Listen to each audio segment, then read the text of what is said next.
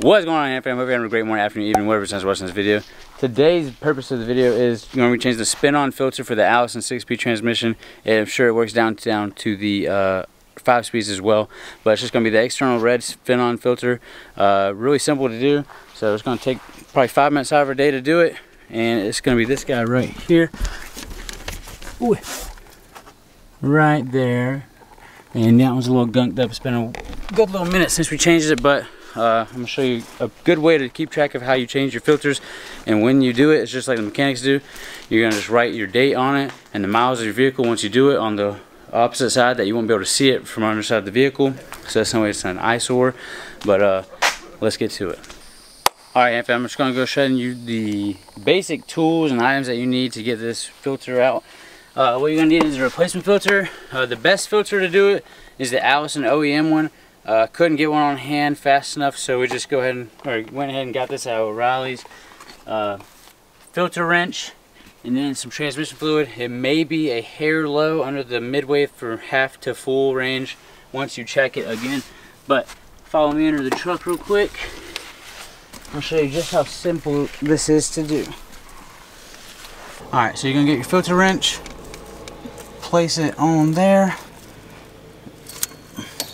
Counterclockwise turn until you can do it with your hand. Now most people think that all the fluid is just going to come and just keep coming, but it's not. It's only going to be a little bit.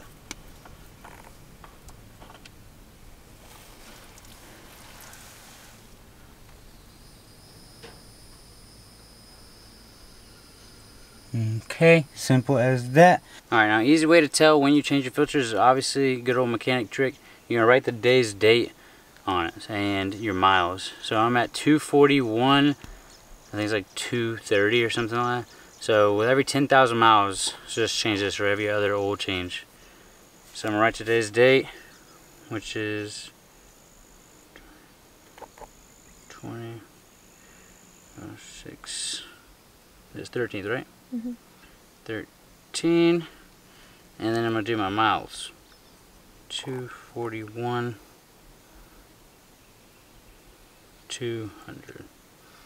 So that way I know around 251 I should replace this. So you're going to leave it up with some fresh transmission fluid.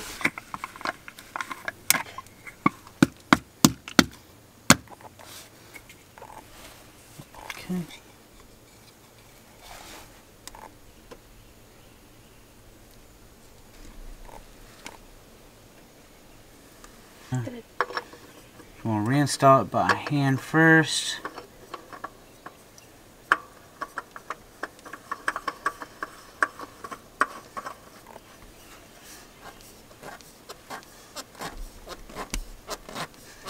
Last one wasn't on there snug at all.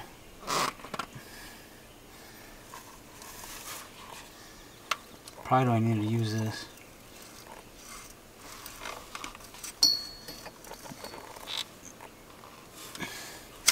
One turn of that wipe filter off now you're just gonna go ahead and recheck your fluids and you should be done Alright, once your truck is at normal operating temperature with your transmission as well, just gonna pull the transmission dipstick out. Give it a nice old check.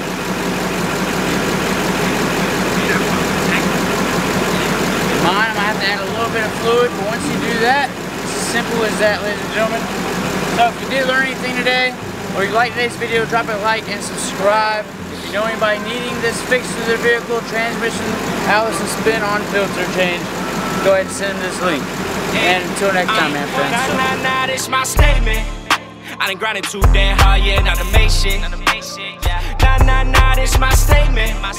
Took a few bumps, yeah, I ended up on the pavement. Nah, nah, nah, this my statement. I'm telling y'all I'm different, this ain't basic. Uh, nah, nah, nah, this my statement. Shit ain't like old times, yeah, gotta face it. Uh, nah, nah, nah, this my statement. Done jumped in the booth, now shit go crazy. Uh, you know I had to tell them pay me. Uh, can't do no freebies, this shit crazy. Uh, going around town, oh yeah, they look, yeah. Uh, stop by